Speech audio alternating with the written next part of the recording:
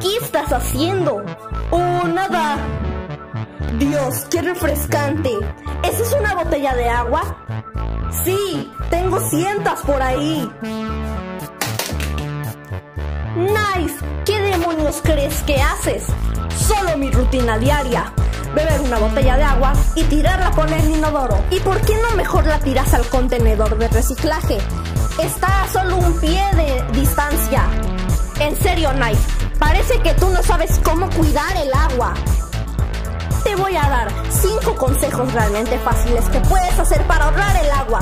Hombre, qué aburrido. Encima el final de temporada de ¡Escúchame! Bueno, número uno, siempre tiras esa botella de agua. Eso desperdicia tanta agua innecesaria. Mejor toma el agua del grifo. Oye, qué buena idea. ¿Qué más puedo hacer? Siempre tiras esa botella al inodoro. Mejor ponla en el contenedor de reciclaje, que está solo a un pie de distancia. Y cuando tiras de la cadena, toda esa agua se desperdicia.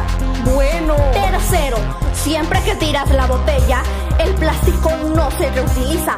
Al contrario, se desperdicia y cae en las alcantarillas. ¿Sabes cuánta agua podríamos ahorrar si todos recicláramos? O sea que tú estás ahorrando el agua.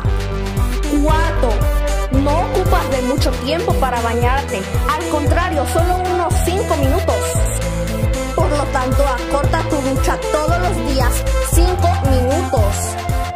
La cosa número uno que hace la gente para desperdiciar el agua es tirar las cosas por el desagüe. Reutiliza el agua, por ejemplo, para regar las plantas. Que ni se te ocurra.